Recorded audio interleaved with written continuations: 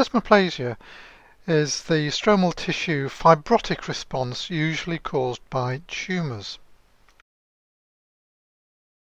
Tumours produce growth factors that stimulate proliferation of connective tissue, including fibrous tissue and blood vessels, and a desmoplastic stroma is characterized by dense fibrous tissue, making a tumour feel hard.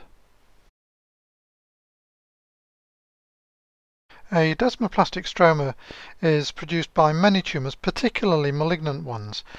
Examples of tumours with desmoplastic stromas include infiltrating breast carcinomas, signet ring carcinoma of the stomach, colorectal carcinomas, invasive transitional cell carcinomas, for example, of the bladder or renal pelvis, and a rare kidney tumour is a collecting duct carcinoma, and this has a characteristic desmoplastic stroma.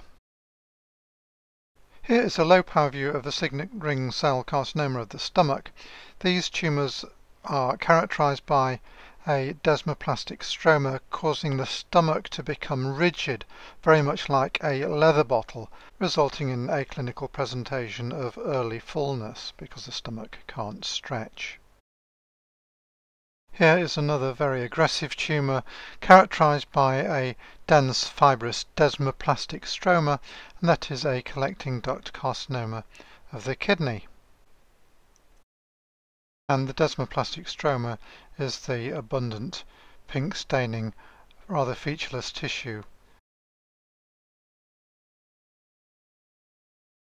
In some cases, desmoplasia is a diagnostic feature of some tumours, for example desmoplastic ameloblastoma, desmoplastic infantile astrocytoma, desmoplastic basal cell carcinoma, desmoplastic fibroma, desmoplastic small round cell tumour, and desmoplastic trichoepithelioma, to name but a few.